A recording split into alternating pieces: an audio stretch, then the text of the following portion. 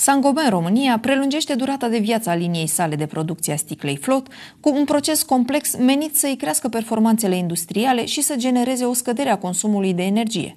Acest proces de retehnologizare va aduce la o creștere a capacității de producție și la o reducere a consumului de energie cu circa 20%.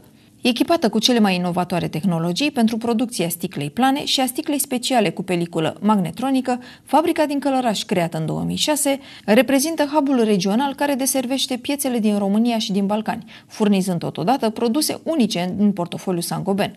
La fabrica din Călăraș activează 340 de angajați. Prin această investiție, Sangoben își consolidează poziția de lider în regiunea Europei de Sud-Est și de actor principal în sectorul materialelor de construcții.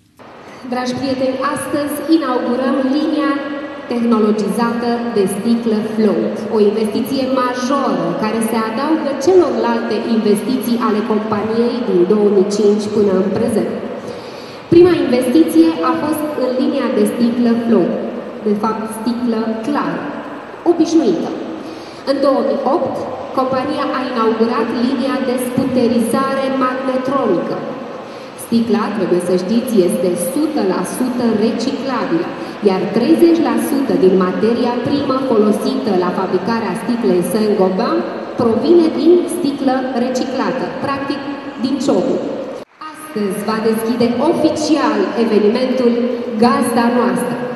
Directorul general al Saint-Gobain Glass România, domnul Andrei Limon, pe care îl invit în scenă în aplauzele dumneavoastră.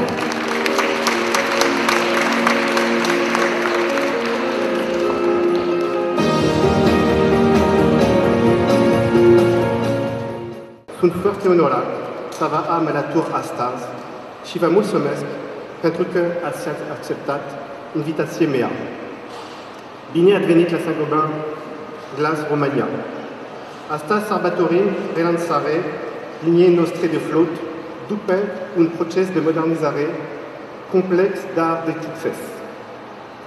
Acest eveniment constituie o etapă majoră în dezvoltarea Saint-Gobain Glass Romania Dezvoltarea ce a început în 2005, odată cu deschiderea inițială a liniei de flot.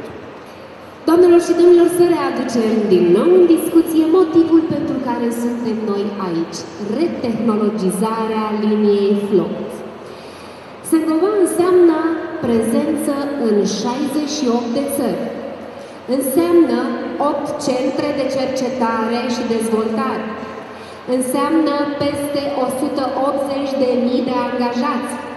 Obiectivul Saint-Gobain este acela de a fi recunoscuți drept referință în domeniul habitatului și al construcțiilor, punând în centrul acțiunilor noastre creșterea calității produselor, inovația și grija față de mediul înconjurător. 5, 4, 3, two, one, zero.